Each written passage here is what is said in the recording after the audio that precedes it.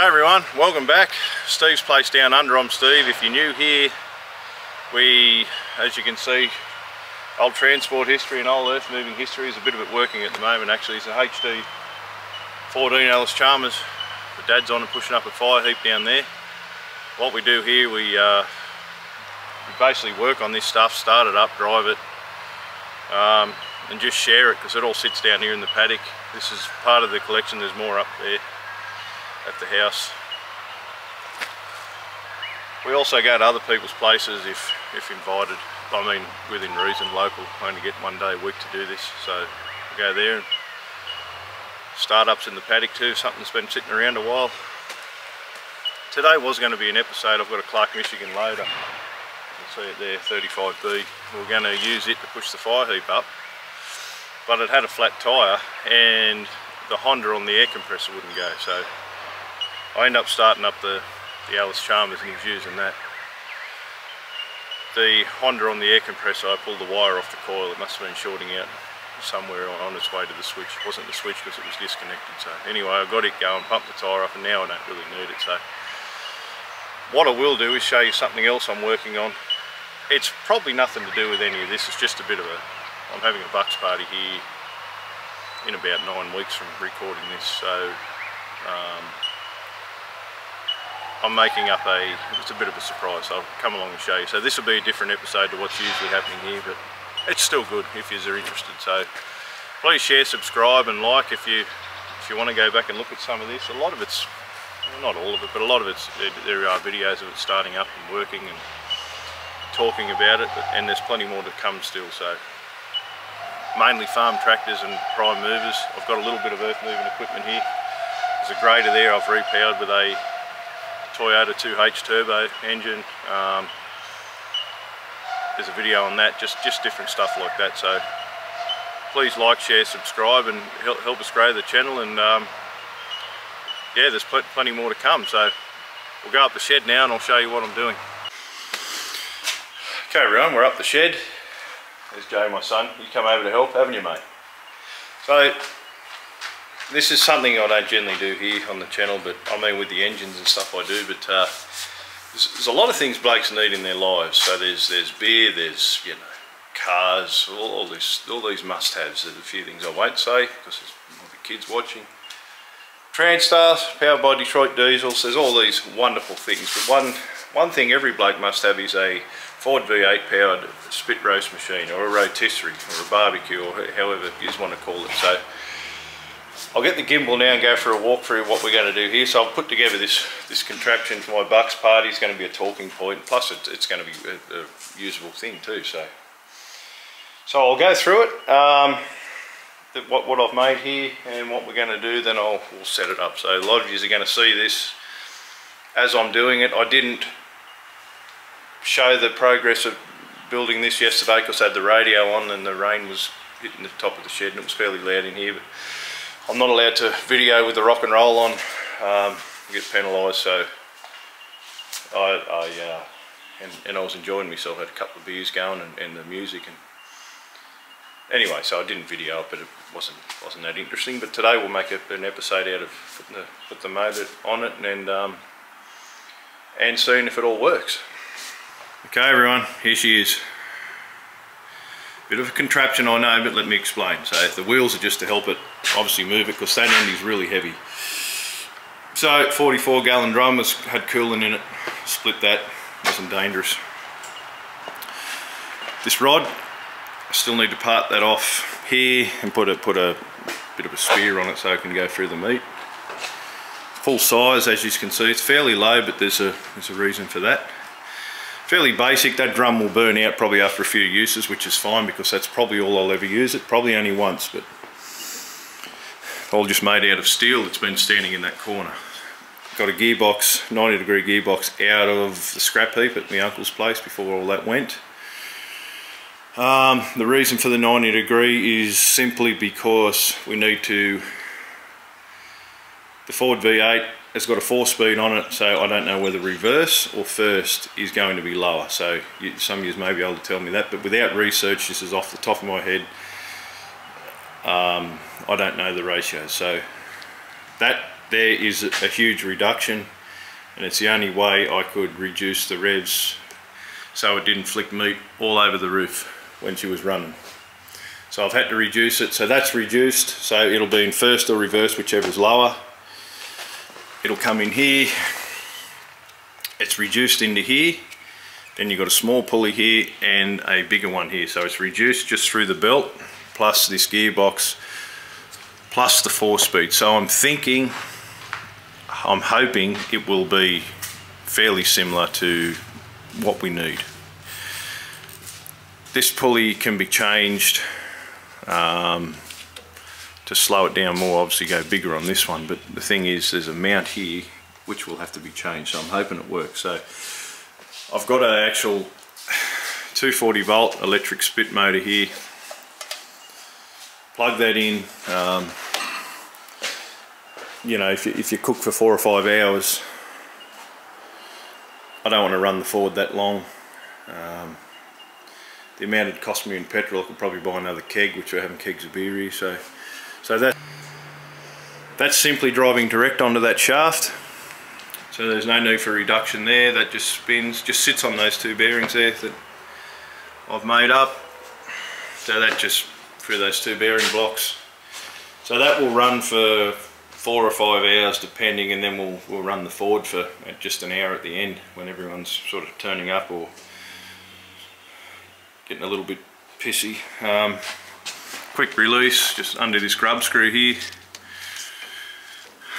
Screwdriver through that, undo that, and then the motor just slides out. So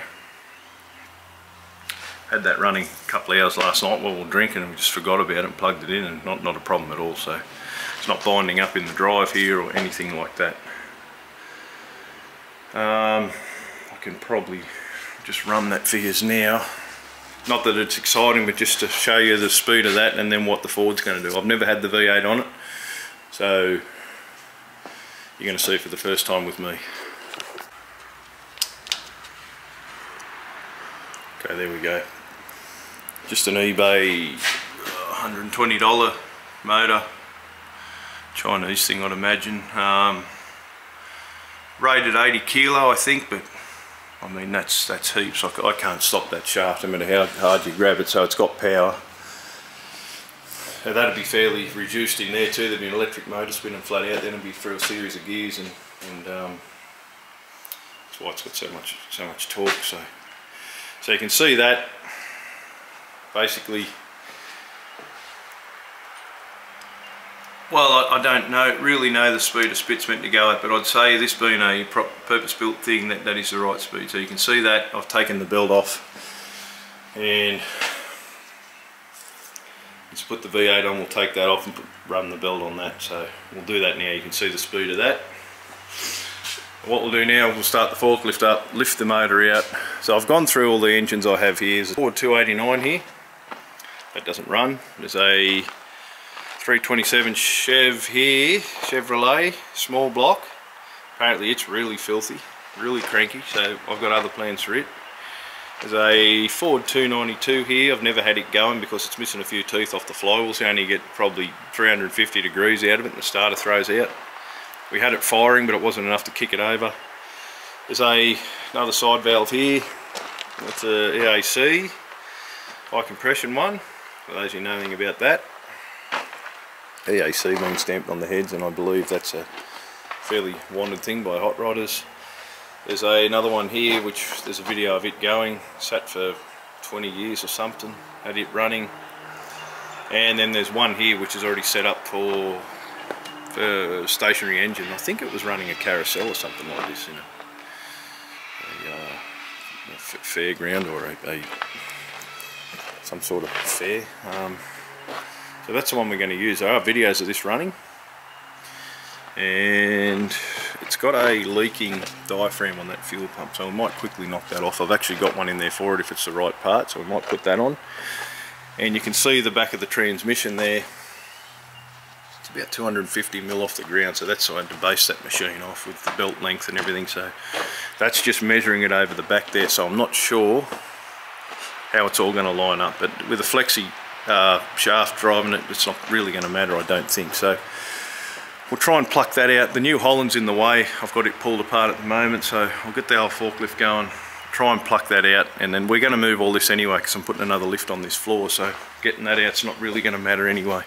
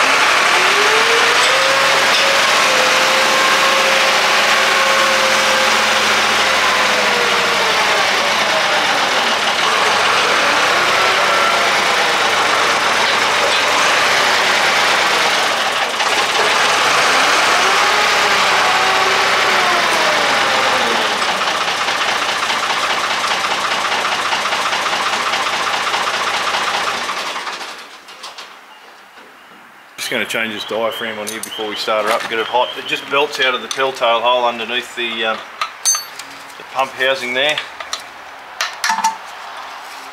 I got one off a bloke on eBay actually, it looks like a genuine thing, like a old stock or something. Probably get aftermarket ones, whatever the case is, not sure. So this one here is, I think it's a, I think it was out of a Ford Pilot. Um, I'm pretty sure it's a British made one. Ford Pilot or uh, old, old Thames Trader or something like that. It's got a Solex carburetor on it. and the heads and stuff have got different markings to what a, the American ones do over there. So.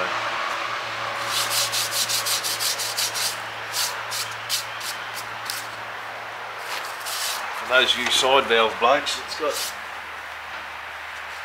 C2P written on the bell housing where it would have 59 or something like that on the other ones. But anyway, it looks fairly identical apart from some markings and stuff on it.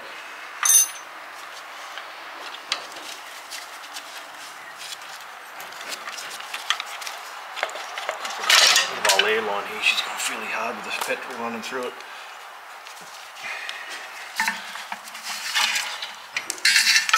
This is a 6 volt unit. Um, I've disconnected the generator and all the gauges on the back, just directly running it to a 12 volt coil which I'll have to sit on there to show you how it runs. Just eliminated all the 6 volt side of it. When I run it on the day I will just have a battery charger going. May even run the ignition off a, off, a, off an inverter or something like that so it is charging at all times.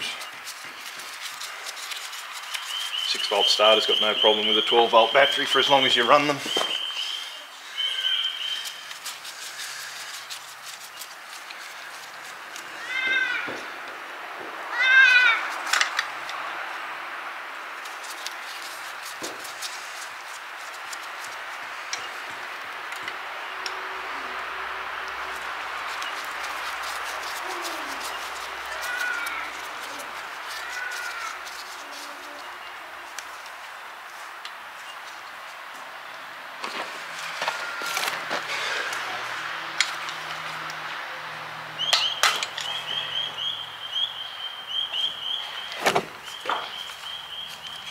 got to take the...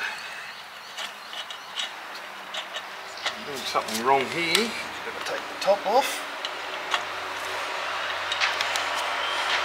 As well, I don't know.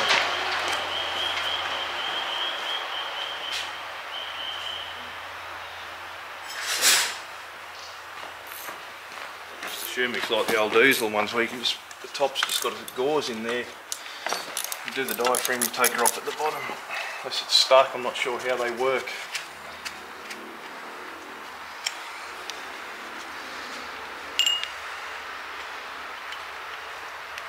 And she's gauze in there like the old diesel one, so I don't know, maybe that screw there. That's just a bowl drain by the look of it.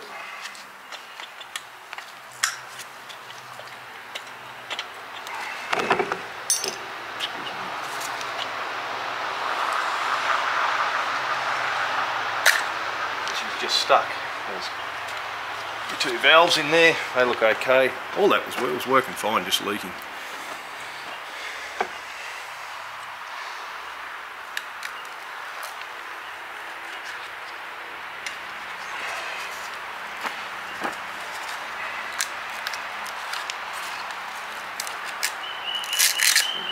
Yeah, hard and dry that is.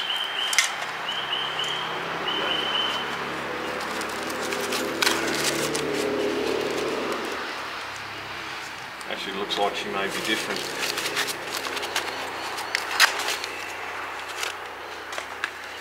Well that, genuine Ford part, but it's got a different end on there.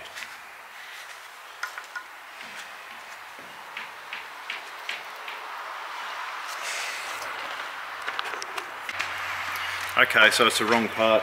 You can see the uh, the eye in this one should be like a T-piece and, and, I probably could modify it but I think that being a genuine part it's come this far in life I'm not going to destroy that it's just, just brilliant by itself so I might just gravity feed some straight into the carburetor and, and, and I'll chase around for another one aftermarket or whatever the case is I could get a fuel pump off one of these other ones but I'd reckon they'd have the same problem they're just as old they've sat around if not longer so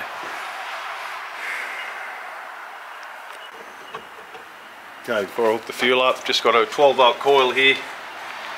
Um, one I'll put straight to the battery. It should be used with a resistor on the day. I will use it with a resistor. Just run it as long as we are now. Won't hurt it. Well, don't think it will anyway.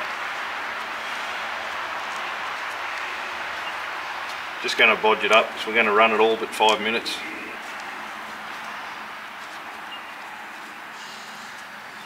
This will be done properly for the day. I forget a ballast resistor actually, I don't know if I've got any or not in the drawer. Just quickly, so this, this one's going down to the,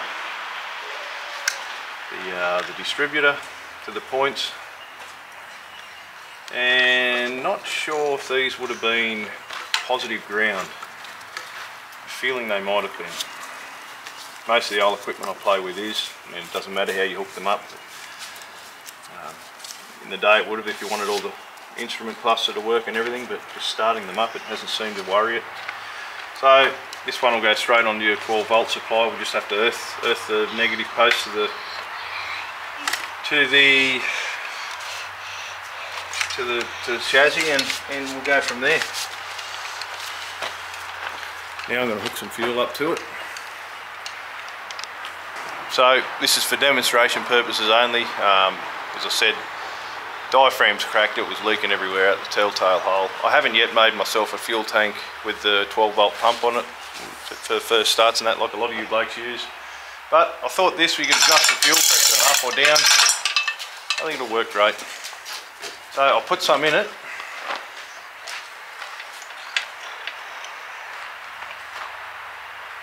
It's off there. I'm not going to cut the zip ties, my mate will kill me.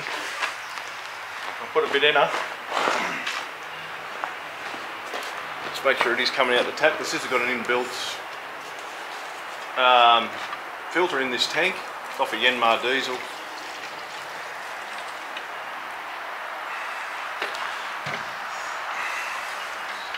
Read that tap wrong. Anyway, it's working.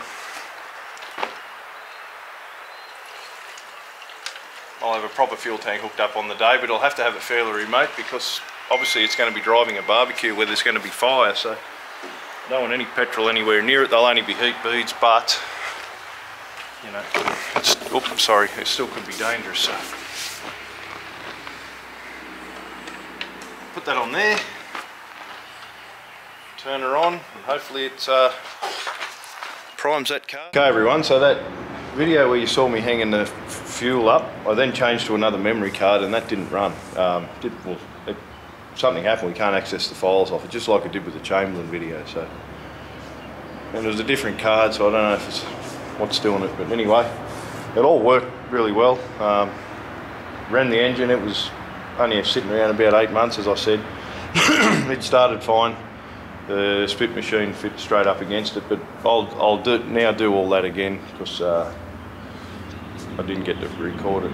Um, I put it on Instagram the day I had it going, which is about two weeks ago, and it's well in excess of a, uh, a million views. So which is which is great.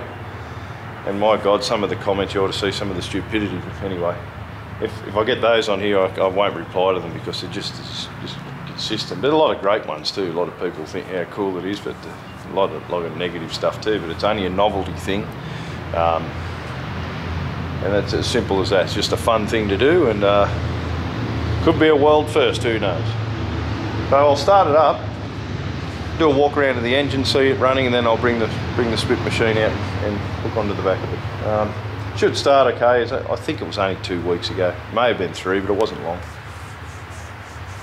I'll start it up and uh, probably probably put some water. Or the oil's right. It leaks a bit of water. I've got to fix one of those pipes. Put some water in it and see if she kicks up.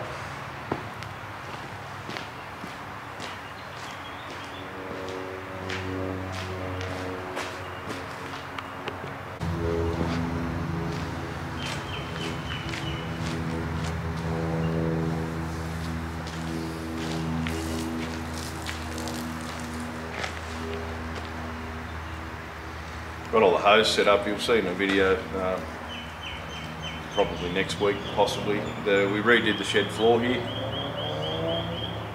Put another layer on. That's why it's bare over that side. As you can see the start of the video, there was all engines there, but we've since put it all in the shed to um, to put another lift on the floor here, which has come up great. I'll show you that while that hose is trickling in. You can see the the roller and the vibe plate and you lift on the floor and that, that section over there got dark so we'll, we'll finish that today but I just got to do this first. This first so it's we can get it edited so when you when you watch this for the first time it's it, it's happening today so this, this will be put straight up. Not taking as much as you think, it's just on slow.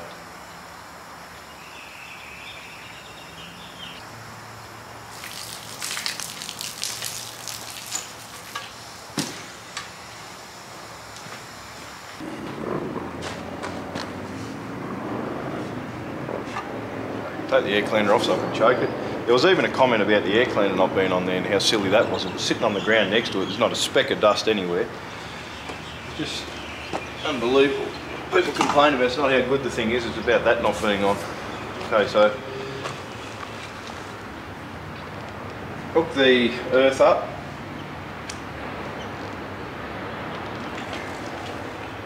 The earth we will leave on there for the ignition.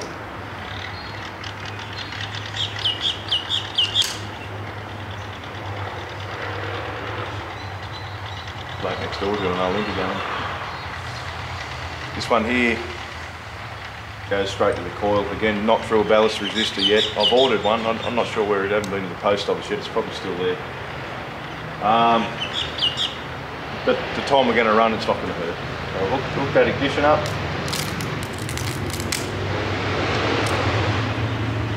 Excuse the noise. There's a lot of Harley Davidsons and car clubs and everything roar up behind the house here on a Sunday that all bit of a drive they do right round. There's pubs and stuff out there they go and drink at and have a good time. So it's pretty noisy the road here.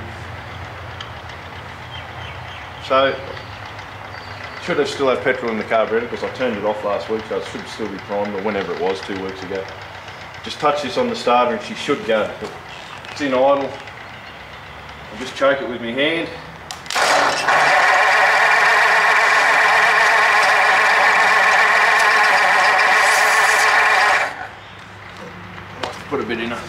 Probably a bit low. Probably all evaporated sitting there.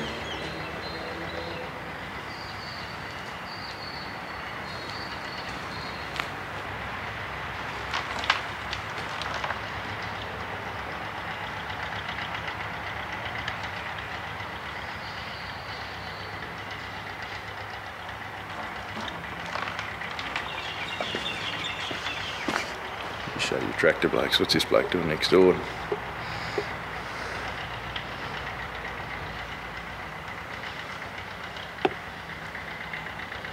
See the smoke down there, you got something going.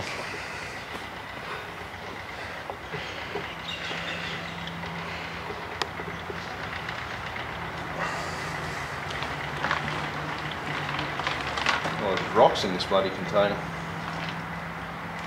Oh, them to go into it give her another go.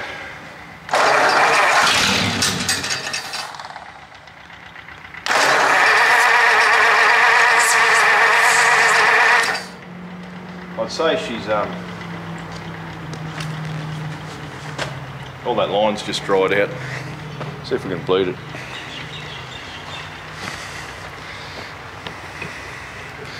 Hasn't got much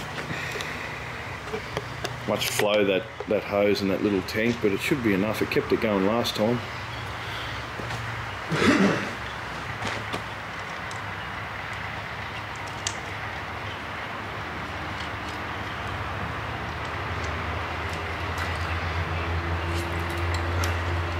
Nothing.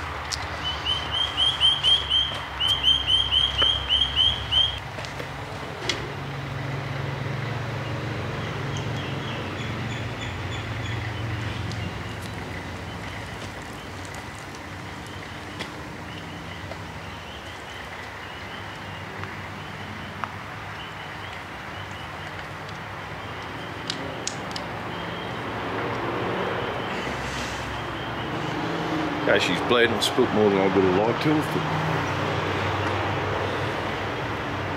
not to worry. Okay, we'll give her another go. Should be right now.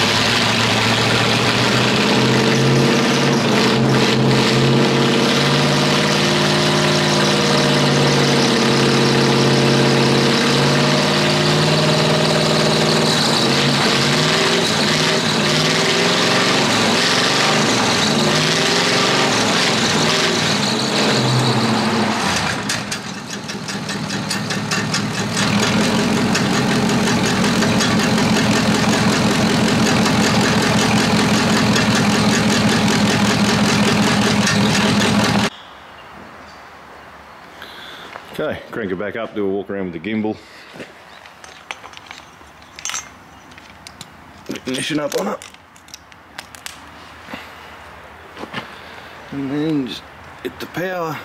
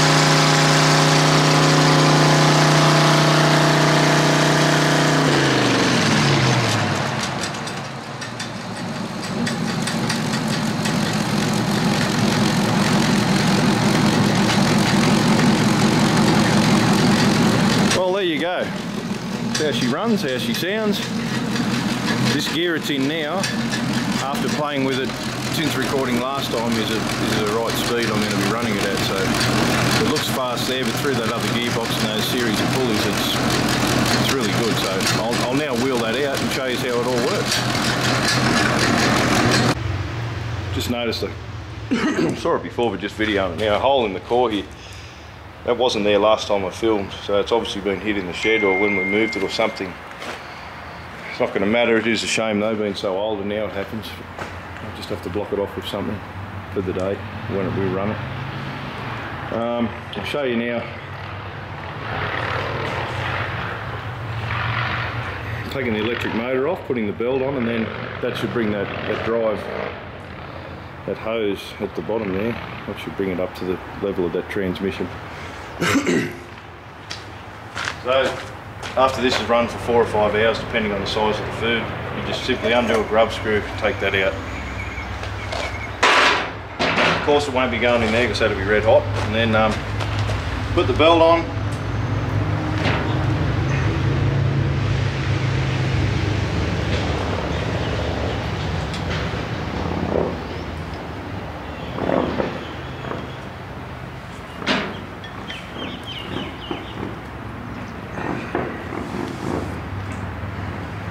this little guide here because it is a 90 degree, got that guide there, should be adjusted okay. It ran fine last time.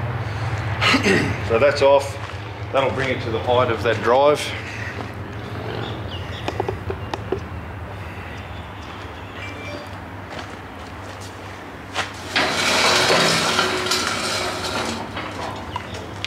Down the other side so you can see.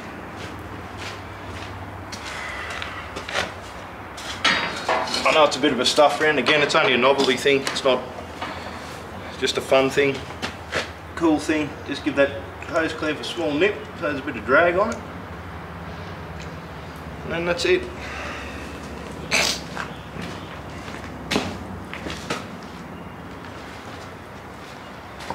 It should be fine, should be in the right gear.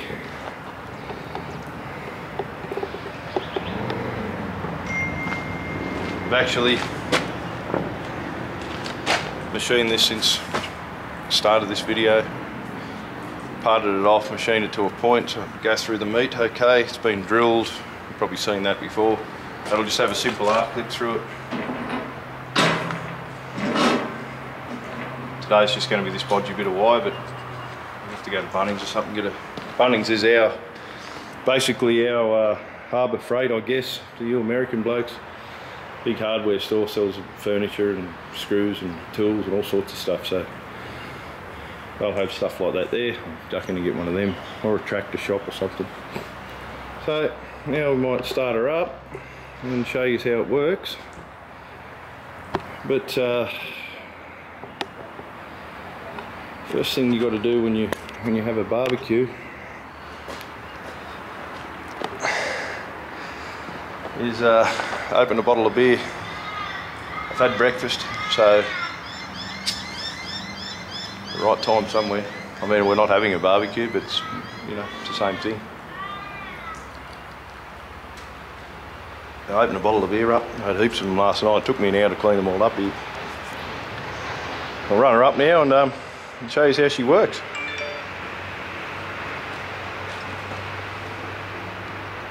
Ignition on. face the camera down. Ignition on. And she should just go on hitting that.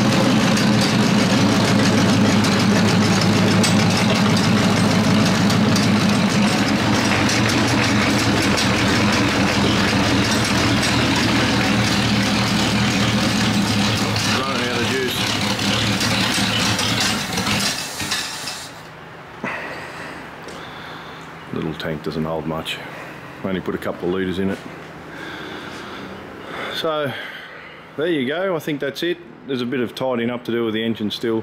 As I said, burn all that in. you see the speed of it, I think it was pretty good. I could change gears. I don't really want to rev it up and make it too noisy. Um, as I said, there's still two more speeds left in that, which should be should be more than enough. It's probably good how it is.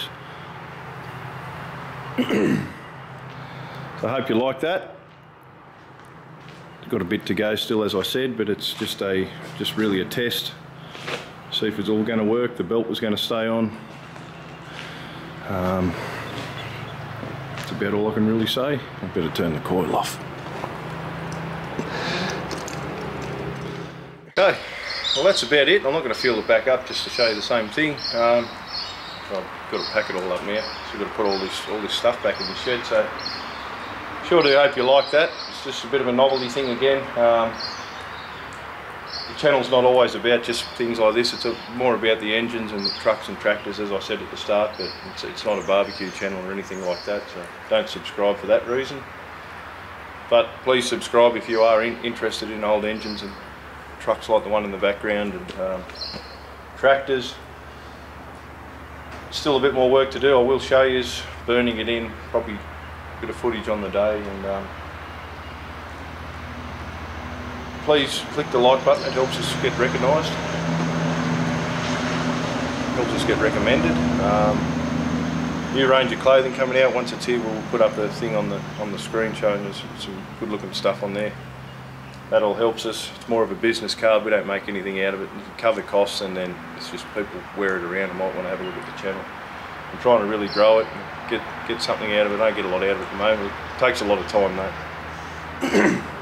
I recently uh, dropped the camera in the blue tractor and fell about a foot, if that, and it's it wouldn't turn back on after that. So I've tried different batteries and we've had to send it away. So this camera now is was brand new on Friday. It's now Sunday. So that was another seven hundred dollars. It just it's money I'm sort of not getting back, but I don't care because I like I like doing the channel stuff. So that happened, and all the all the truck regos are due at the moment. There's, there's a lot of money coming out at the moment. Anyway, what we do is while we go to work, I suppose. So, hope you like this. Please like, share, and subscribe. Um, tell tell your friends about it if they're interested in this sort of thing. Um, again, try and save all those comments because some of the stupidity on Instagram was you want to go do yourself a favour and have a look at some of the things people writing. There's just no sense of humour or adventure in any of these blokes for the sound of it. But anyway it's just a fun thing and that, that's all it is. So it's just something cool, I think. You may disagree, you may agree. So I think that's going to be it for this episode. So please click, share, subscribe, click the like button, as I said, and um, thanks again for watching.